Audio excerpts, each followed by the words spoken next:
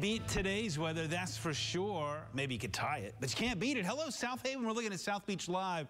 Still a little bit of ice out there. It's pretty impressive considering that today in South Haven, those temperatures will into the mid 60s. Kalamazoo even made it into the upper 60s. Hello, Marshall. We move from the South Haven shore to downtown Marshall in the heart of Calhoun County.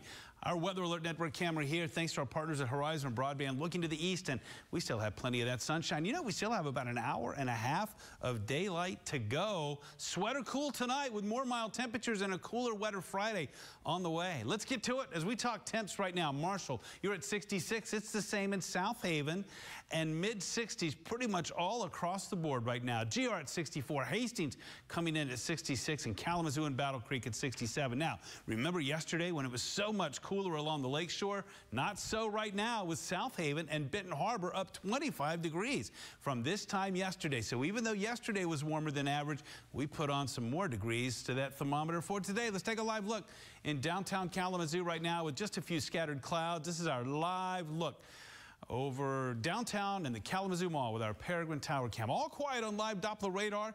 Nothing going on here. As a matter of fact, you can check out satellite and radar with Storm Tracker, and there's nothing headed our way.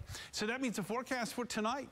Partly cloudy skies, quite mild. Look at that low of 45. You know, that's close to our typical high for the day. Tomorrow, mostly cloudy, another mild day, even without as much sun. We'll see a high of 66. Celiata Group, seven day. It's going to get breezy and wet and a little cooler for Friday and Saturday with the vernal equinox. Hello, spring on Sunday. Erica? All right, Keith.